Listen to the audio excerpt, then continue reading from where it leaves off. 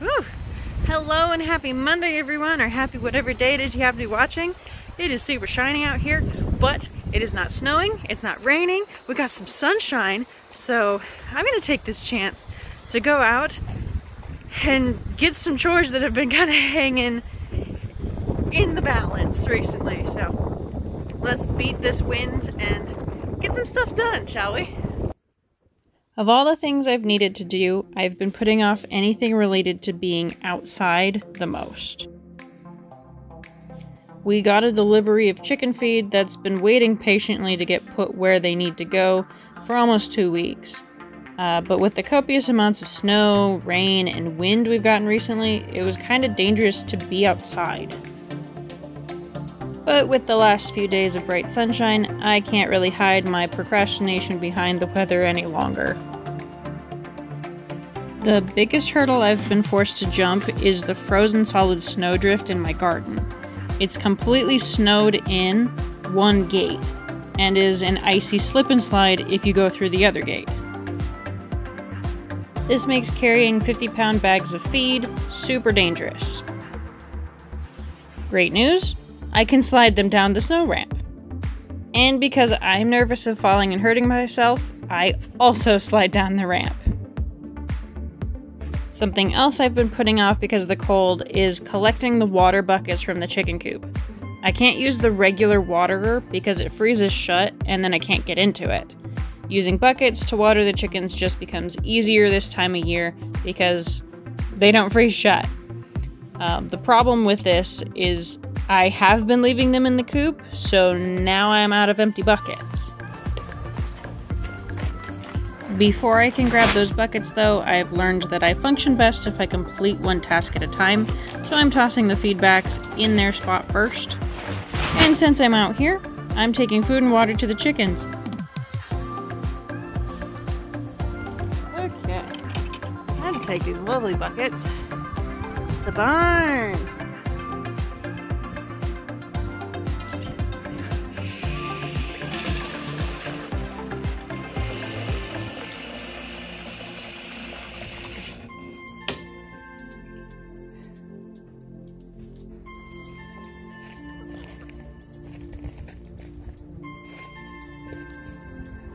Coming, ladies.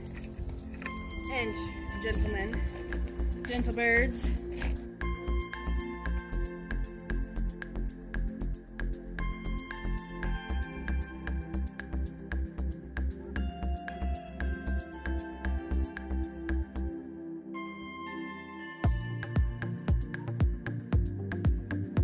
I had actually started moving buckets out of the coop a couple days ago, then I'd been distracted by something, so I'm back to finish the job finally.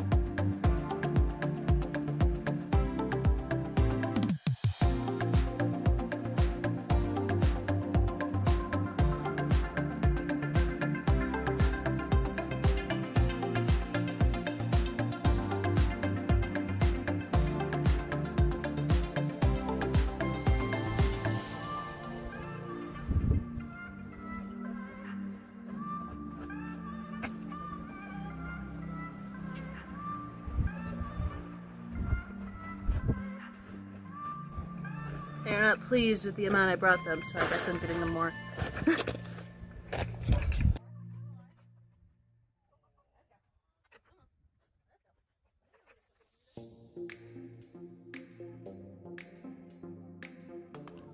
I was hoping to do some repairs to the fence and bird netting while I was in the coop, but everything is so slick still, and the soles of my boots have completely detached themselves from the rest of the shoe, so I figured it was best not to push my luck and just to wait until everything's melted off a little more.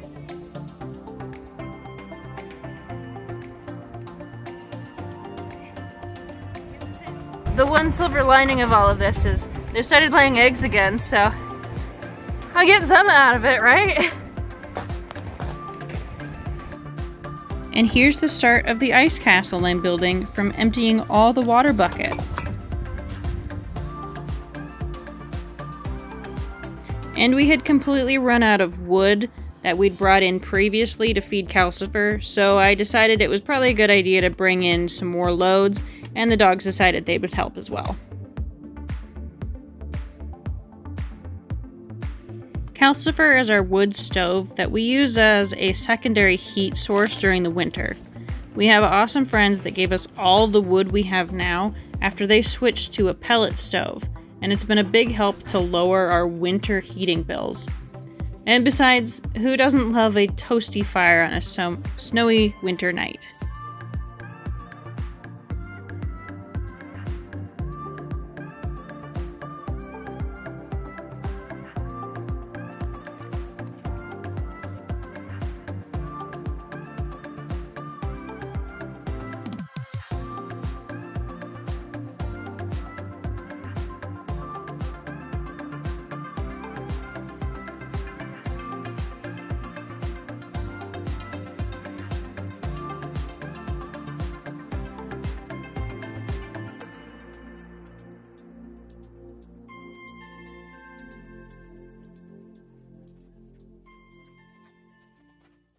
I think that's enough outside activity for me for today.